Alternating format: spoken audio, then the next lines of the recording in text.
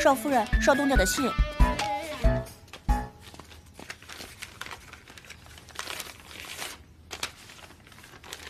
夫人，有带给我的话吗？帮我拿一下。好嘞。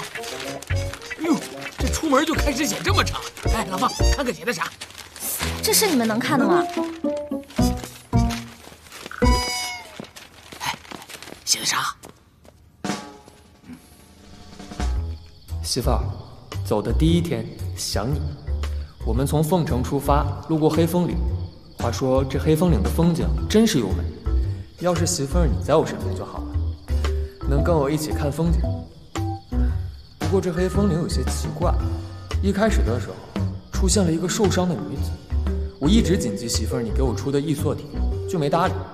但是吧，赵姬她一看到女人就走不动路，还是被我拽走了。媳妇儿，关于这点，我已经严肃地批评过他了。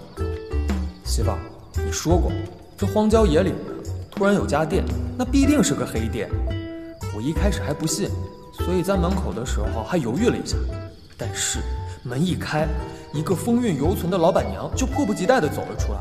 （括弧这绝对不是夸赞，我媳妇儿比她好看多了，也就是赵记喜欢，她看的眼都直了。幸好机智如我，蒙住他的眼睛，直接就赶马车就走了。媳妇儿，我好想你，你想不想我呀？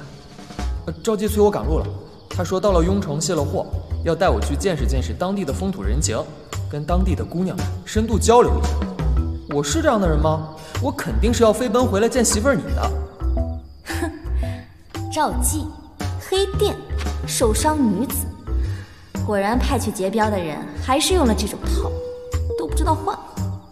王爷，你的如意算盘怕是要落空了。哇哎，少爷，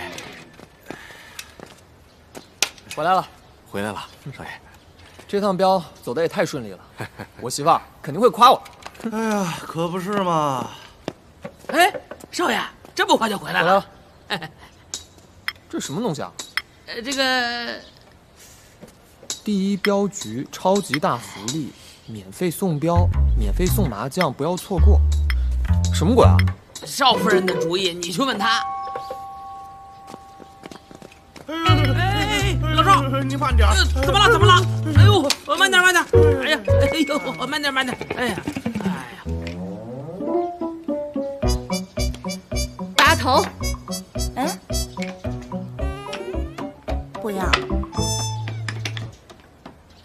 哼！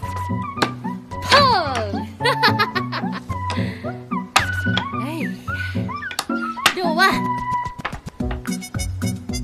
麻将是一种适合四个人的游戏。我们的麻将用红木制成，有各种不同的玩法，愉悦身心。在凤城，甚至整个大魏国，只有我们家有，而且价格不菲，只要前一百名就可以免费赠送。世上还有这么好的事儿？真的假的？不会是骗人的吧？我们第一镖局实行会员制，办理年卡只需要二百九十九两，就当是预存，首单全免。一年内运送镖货可以享受七折的优惠，运费从预存里扣除，而且我们还送价值一百两的麻将。只不过我们这次的免费运单只负责从凤城到雍城。我要办年卡，太划算了，不仅可以免单，而且还可以送麻将啊，简直超出了我的认知哎！我要办年卡，办年卡，办年卡，办年卡。小叶，麻将到底好不好玩呢？好玩啊，二大爷，简单易学，老少皆宜。你媳妇和你娘不总是怄气吗？让他们打几圈，好的跟姐们儿一样。小叶，你说的是真的吗？真的，三大爷。哎，真乖。自从学会了打麻将，我这身心变得特别愉悦，饭都能多吃好几碗。我能一口气从凤城走到雍城呢。我去办年卡，迟了就没有了。要办卡的人去那儿办理。快快快快，办年卡，办年卡，办年卡！方程式、吃货，你们两个居功至伟。那接下来，我们开个总结大会啊。方程式，你来说一下我们今天的业绩。一共有九十八人购买了充值卡，总入账一万八千四百四十两。很好，说明我们这次办得很成功。不过我们的后续服务还是要到位，否则还是会有人退卡的。我有一点不明白，我们像这种免费送标的活动，就不会亏钱吗？看似很亏，实际不然。首单免费运送是噱头，也是为了留住那些客户的先决条件。从咱们这儿到雍城，距离并不算太远。普通货物大概价值三千两的货物，运一次的费用是一百五十两，充值二九九可以送两次，免单一次。也就是说，这两次运货我们只能赚一百五十两，看起来是挺亏的。但是呢，我这张纸上有这九十八个客户的信息，他们大概送货时间还有送货地都写得非常的清楚。我大概统计了一下，后天同一批次运输的大概有三家，到时候呢，我们统一押送。也就是说，我们拿这三次的运送费，却只送了一次，这钱不就挣回来了？还有啊，我们让他们预存费用，也是为了圈住这九十八个客户，至少在预存费花完之前，他们的标一定是我们送。等到预存费花完，我们可以继续搞优惠活动，比如说充一百两送二十两，一定会形成客户粘性。到时候再把后续服务到位了，他们就可以成为我们的永久客户。大家听懂了吗？呃，呃，听懂了，听懂了，听懂了。嗯，听懂了。那就好，那就好。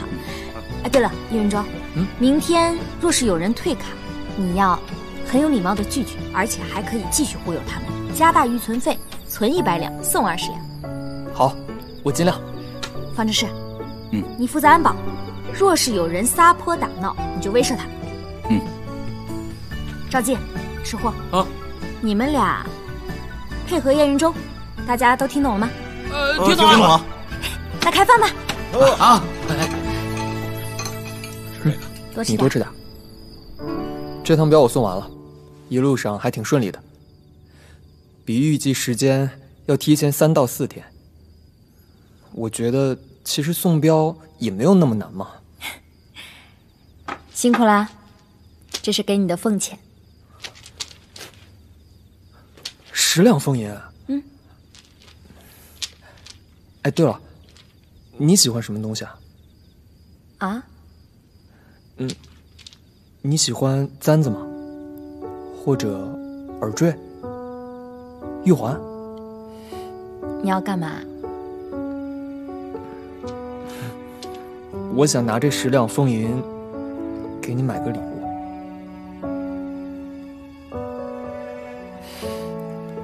你离我近点。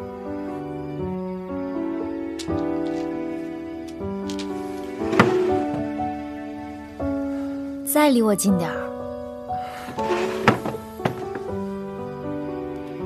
最近你也挺辛苦的，以后一三五去搭通铺，二四六可以来我这儿。那今天呢？随你啊。